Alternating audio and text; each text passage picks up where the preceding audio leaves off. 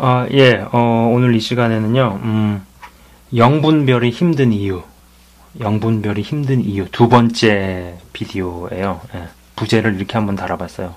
거짓 선지자도 맞는 예언을 한다. 예, 거짓 선지자도 얼마든지 맞는 예언을 한다. 아, 이런 주제로 한번 이야기를 해보도록 하겠습니다.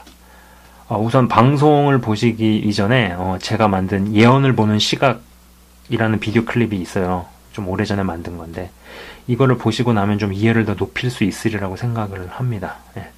요새 어, 유튜브에서 좀, 좀 어떤 면에서는 재미있는데 한편으로는 좀 안 된 좀 그런 사역자가 이야기하는 걸 봤어요. 한국 전쟁에 대한 예언을 하면서 구체적인 연도와 월까지 이야기를 하는 것을 제가 봤어요. 예. 그것을 보면서 만약에 만약에 저 예언이 맞아 떨어지면은 많은 사람들이 낚이겠구나. 예. 그리고 또 저 사람 또한 점점 사단의 종으로 완성되어 갈지도 모르겠구나라는 생각을 한번 해봤어요. 예. 그 우리가 이 예언 중에서요 가장 최고로 촉각을 도는 것은 아무래도 주님의 재림이죠, 그죠? 주님의 재림. 네. 주님이 언제 다시 오시는가? 근데 이 부분은 뭐 여러분도 잘 아시는 것처럼 그 누구도 몰라요. 네. 그러나 우리는 그 시기를 마치 아는 것처럼 살아야 한다는 거죠, 그죠? 그래야 죄를 끊으려고 죄와 싸우려고 하며 어, 일시적인 게 아닌 영원한 것. 네. 아는 것처럼 살면은 죄를 끊으려고 싸울 것이고, 그죠? 일시적 가치에서 영원한 가치로 아무래도 우리의 눈높이나 우리의 생각을 맞추려고 끊임없이 애를 쓰겠죠. 그죠? 그래서 제가 이런 얘기를 예언을 보는 시각, 연을 보는 시각에 어, 만들었습니다. 한번 보셨으면 좋겠어요. 네. 그죠? 어, 그, 분명한 것은요, 예, 주님은 이제 그 날이 가까울수록요, 이건 분명한 것은 주님은 날이 가까울수록 때를 알려주시는 게 아니라 때를 알려주시는 게 아니고 징조를 보여주신 징조를 보여주신다는 거예요. 징조. 예.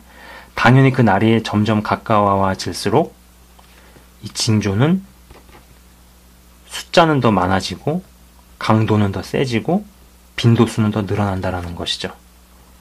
그죠? 근데 이제 중요한 포인트가 뭐냐면은요. 문제는 이제 주의 재림은 그 누구도 때를 알 수가 없죠, 그죠? 누구도 알 수가 없단 말이에요, 주의 재림은. 오직 아버지만 안다고 성경에서 분명히 못을 박아놨지만, 그러나 그 외의 다른 일들, 뭐, 이런 일들에 대해서는 때와 시간을 맞출 수 있다는, 거, 있다라는 것이 함정입니다, 함정. 예. 처음에 제가 말씀드린 그 사역자는 주의 재림을 얘기하는 게 아니고 한국 전쟁을 얘기했잖아요. 그죠? 전쟁. 그러면은 이 전쟁의 시기도 맞을 수 있다라는 거예요. 네. 자, 잘 들으셔야 돼요. 자, 여러분 성경 있으시면은 신명기 13장 1절부터 3절. 신명기 13장 1절에서부터 3절을 한번 찾아서 읽어 보셨으면 좋겠어요. 신명기 13장 1절에서 3절까지 보시면은요, 특히 2절과 3절을 보면은요, 뭐 이제 예언이 맞더라도 그 예언자의 말을 듣지 말라. 이런 대목이 분명히 문자적으로 나옵니다. 제가, 어, 94년도에, 제가 94년도에 대학 1학년생이었어요. 94년도에 대학 1학년생이었는데, 뭐 여러분 아시는 분들은 아실 거예요. 그때 김일성이 죽었거든요. 네. 그때가 이제 한 8월경이었던 것 같아요. 7월인지 8월인지 아이가 여름이었었는데 여름이었던 걸로 기억하는데 어, 동아리 친구들하고 식당에서 이제 뭘 먹다가 팁을 보고 있는데 갑자기 TV 속보가 딱 뜨는 거예요. 그러면서 이제 뭐 이때 쓰... 근데 그래서 뭐 사망, 뭐 김일성 사망 뉴스 속보 이렇게 뜨더라고요. 식당에서 먹고 뭐 이렇게 먹으면서 야야 김일성 죽었다 죽었다 막 이랬었거든요. 근데 여러분 어 이 죽음을 예언하고 마친 사람이 있는데 그 사람이 심진송이라는 무당이 있었거든요. 이 사람 이런 책도 나왔었어요. 뭐 신이 선택한 여자인가? 신이 선택한 여자 뭐 해가지고 어, 책도 나왔었는데 제가 이 책을 한번 읽어본 적이 있었거든요. 예, 좀 흥미롭게 읽은 적이 있고 그게 기억이 나요. 어, 이 여자분은 음,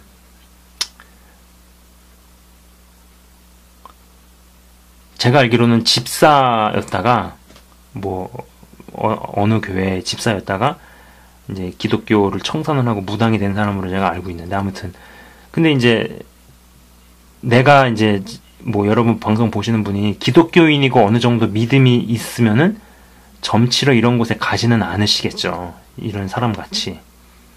근데 이제 문제는 이런 영이 사역자 안에 들어가서 자리를 잡으면은 과연 어떻겠느냐 이거죠. 심진송이라는 사람이 이 예언을 맞추면서 얼마나 급부상을 했겠어요. 예?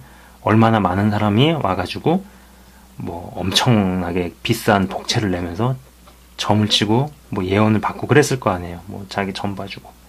그 하나 재밌는 이야기로 그 테헤란로 가면 빌딩들이 많잖아요. 그 빌딩들이 다 점장이가 얘기를 해줘가지고 지은 거라 그러더라고요.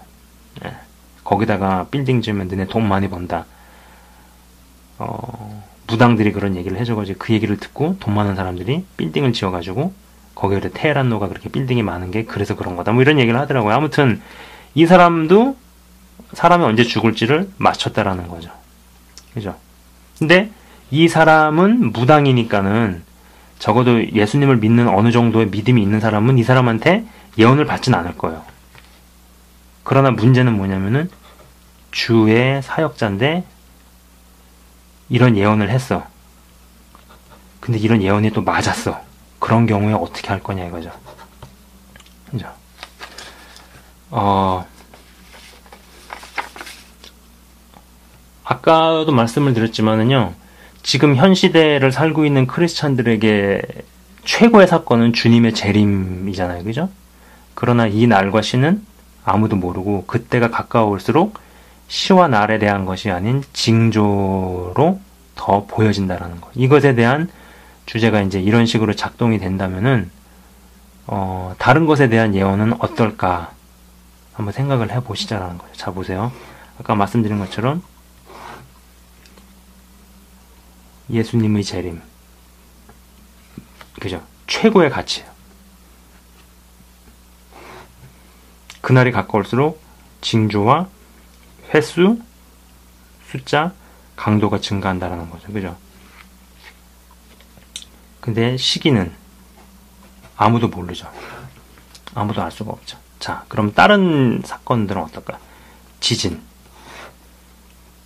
징조, 강도, 횟수 증가하죠. 왜냐면 여기 위에서 그랬으니까. 그러나 이 시기에 대해서는 맞출 수도 있다라는 거죠. 어떤 영들은 예측을 하고 맞추는 게 가능을 하죠. 왜냐하면 성경에서 예수님이 다시 오시는 때에는 아무도 모르고 아버지만 안다고 그렇게 말씀을 하셨지만은 다른 사건에 대해서는 그런 얘기를 한 적이 없거든요. 이게 중요한 거예요. 제가 하고 싶은 얘기는 바로 이거거든요. 자, 그럼 전쟁은 어떨까요? 전쟁이 점점점 일어날 수 있게끔 가게 되려면은 당연히 그 징조도 증가하고 어떤 강도 이런 것들이 증가하겠죠. 그죠? 어떤 그런 징조들이 더 번번하게 나타나고 징조들이 더 심해진단 말이에요. 그죠? 네. 땅굴에 대한 기사가 계속 나오고 누가 봐도 사상이 이상한 애인데 이상한 소리를 하고 또 그게 받아들여지고 좀 우리가 그런 거 보고 있잖아. 이런 것들이 징조가 점점 늘어나는 거 아니겠어요? 자, 지진 같은 경우 어, 전 세계 지진 맵 같은 거 한번 쳐보시면은요. 미국 서부 지역으로 해가지고 지진 난 지역들 지도 보면 막 빼곡하게 나와 있죠. 이런 부분들이 징조가 빈도는 빈도대로 늘어나고 강도는 강도로 늘어난다는 이야기잖아요. 그죠? 근데 이런 것들은 맞추는 게 시기를 맞추는 게 가능할 수 있다라는 거. 휴거 마찬가지죠. 그러나 아무도 알 수 없죠. 왜냐하면 예수님의 재림과 휴거가 맞물려 있으니까 그죠? 그럼 이런 건 어떨까요? 사람의 죽음. 이것도 징조, 강도 나타나겠죠, 계속. 어떤 영들은 예측해내고 맞출 수도 있어요. 그 사람이 무슨 연도에 몇 월에 죽을 거다. 얼마든지 가능한 거예요. 다시 이제 제가 어, 그분 이야기를 해볼게요. 처음에 이야기한 그 사역자 이야기, 한국 전쟁을 대해서 어, 연도와 월까지 이야기한 그분의 이야기를 좀 해볼게요. 그렇다면은 그 분이 구체적인 시기와 때를 이야기할 때 많은 사람들이 왜 훅 하고 끌려가는 건가? 어, 사람은요, 자기 마음에 일말에 관심이 없으면은 얼굴을 마주보고 3시간 동안 그 주제 이야기를 해도 그 주제에 대해서 이야기를 해도 흥미를 못 갖게 되어 있어요. 근데 어, 자기 마음에 관심이 있으면은요, 생전 처음 보는 사람이 지나가면서 혼잣말로 중얼거린 말도 마음을 쑤시고 들어오는 법이죠. 예. 사람이 사기를 당하는 원리도 저는 마찬가지라고 봐요. 사기 치는 놈도 물론 나쁜 놈이지만 내 안에 사기성이 득실되니까 이 사람 말이 들리는 거죠. 자, 예언은 회개가 목적임에도 불구하고 왜 때와 시에 대해서 누가 예언을 하면 어, 우리가 그리도 이렇게 관심을 갖게 될까요? 그분 이야기대로 12월에 전쟁이 났다라고 한번 치자고요. 시체 더미하고 잿가루 위에서 앉아가지고 그분 예언이 맞았으니 진짜 선지자야. 이러고 있는 게 이게 맞는 게 아니잖아요, 사실은. 두들겨 맞고 정신을 차릴 필요가 없잖아요. 사실 저는 그렇게 생각을 합니다. 어, 대한민국 같은 경우는 당장 1개월 뒤에도 전쟁이 나도 사실 전혀 이상할 게 없을 만큼 많은 것들이 준비된 것처럼 보여요. 네. 정말로. 몇 해 전부터 있어 왔던 징조들의 그 어떤 빈도와 강도가 더 심해져 가고 있고, 이야기하기에도 입이 아플 정도예요, 진짜. 그럼 그분이 그리 이야기했을 때 정말 해야 할 일은 어, 나를 돌아보는 일이죠. 제가 이제 지켜봐 온 바로는 정말 맞는 예언을 하시는 분들은 자신의 이름을 드러내지를 않아요. 그나마 본인의 의지도 아닌 하나님의 의지로 어쩔 수 없이 어, 쓰임 받아서 어, 주의 일을 하게 된 분 중에 그나마 맞는 예언을 하시는 분이 제가 볼 땐 박보영 목사님 정도가 예언을 제대로 하시는 것 같아요. 이거는 이게 저의 주관적인 견해입니다. 다를 수 있어요. 그 외의 분들은 하나님께서 정말 엄청나게 훈련시키시더라고요. 멀쩡한 자식을 데려가는 것도 좀 받고 사업에 폭삭 망하게 하고 뭐 죽을 뻔 걸려가지고 막 이런 것들 뭐 말할 수도 없고요. 네. 제가 볼 땐 하나님은 칼을 주시기 전에 일단 칼집을 만드시는 분이고 그 과정이 더 혹독하고 살벌을 한 것 같아요. 네. 그래서 이제 제가 이야기하고 싶은 부분은 뭐냐면은 어떤 안 좋은 사람이 무슨 얘기를 했을 때 그것이 맞는 이야기더라도 내가 거기에 끌리게 되면은 그거는 이 사람보다도 내 안에 어떤 부분이 문제가 있기 때문에 끌리는 거란 얘기죠. 응? 내가 내 안에 그런 것이 없으면은 어떤 사람이 나를 앉혀놓고 3시간 동안 어떤 주제에 대해서 이야기해도 듣지 않는데 내 안에 이거 이런 것이 있게 되면은 모르는 사람이 지나가면서 쭝얼거지는 X도 이게 들린다라는 얘기예요. 마치 뭐랑 똑같냐면은 내 집에 똥이 가득하면은 이 똥 냄새를 맡고 날라오는 거는 날파리나 쥐새끼들이 꼬이는 것처럼 그죠? 마찬가지로 그런 예언이 그런 예언이 더 달콤하게 들리고 더 어떤 관심적으로 확 와닿는 거는 그렇게 거, 그렇게 이야기를 하는 사람들도 좀 약간 무언가가 있겠지만은 정작 중요한 거는 내 안에 어떤 부분이 있기 때문에 끌린다라는 부분을 이야기하고 싶은 거예요. 예언의 진짜 목적은 예언이 맞네 틀리네보다 더 중요한 건 회개고 돌이키는 거거든요. 그죠? 저는 어, 부디 이제 여러분에게 부탁드리고 싶은 얘기는 뭐냐면은 시와 때와 나를 예언하는 사역자분들에게는 절대 혹하지 않으셨으면 좋겠어요. 그분의 하신 예언이 맞고 틀리고 이거 중요하지 않아요. 네. 그리고 그 예언이 맞는 게 좋은 건가요? 저 한번 묻고 싶어요. 그분이 12월에 한국 전쟁 얘기했는데 여러분 진짜 12월에 한국 전쟁이 났으면 좋겠어요? 그게 좋으시겠어요? 네? 전쟁이 헐리우드 영화에서 보는 그런 게 아니라는 거 아시잖아요. 뭐 군대 갔다 오신 분들은 아시겠지만은 군대 가다 총 쏴보고 수류탄 던져봐도 야 실제 전쟁이 나면 어떻겠구나라는 게 대충 감이 잡히기 시작한단 말이에요. 12월에 전쟁을 이야기를 했는데 그 전쟁이 나는 게 그걸 원하는 게 그런 원하는 사람이 있을까 싶어요. 그게 좋은 건지. 그리고 개인적으로는 12월에 아무 일도 없었으면 좋겠어요. 그러면은 그분 그 사역자분도 자신을 좀 더 돌아보지 않을까 생각을 해봅니다. 예. 근데 이제 슬프게도 점점 어떤 전쟁의 기운이나 징조나 어떤 사인들은 점점점 늘어만 가고 있는 게 지금 흘러가고 있는 분위기고, 아, 이대로 가면은 참, 참 그렇습니다. 아무튼. 예.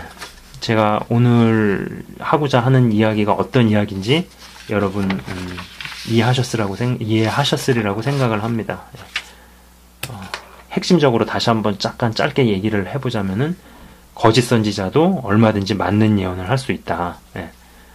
예언에 대해서 어, 예수님의 재림에 대해서는 때와 시기에 대해서는 아무도 알 수 없다고 했지만은 그 외에 다른 사건에 대해서는 때와 시기를 알 수 없다는 말이 없기 때문에 지진이라든지 전쟁이라든지 아니면 어떤 사람의 죽음에 대해서는 맞는 예언을 하기도 한다라는 거죠.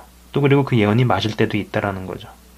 그러면은 그 예언이 맞았다 하더라도 우리가 그거를 이 사람이 맞았으니까 그 예언이 맞았으니까 주, 주의 종이다 진짜다 이런 식으로 인식을 하고 따라가는 게 굉장히 잘못됐다라는 거. 기본적으로 어떤 사건이 다가와질수록 진짜의 방법은 하나님의 방법은 징조의 횟수와 숫자와 강도가 증가하는 쪽으로 우리에게 시기가 빨리 다가오고 있다라는 것을 알려주신다라는 거. 네.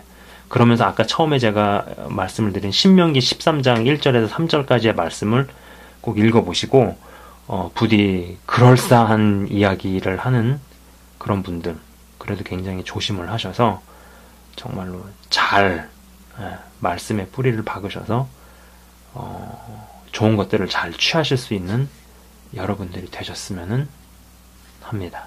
예, 그럼 오늘 이상 방송은 여기서 마치겠습니다.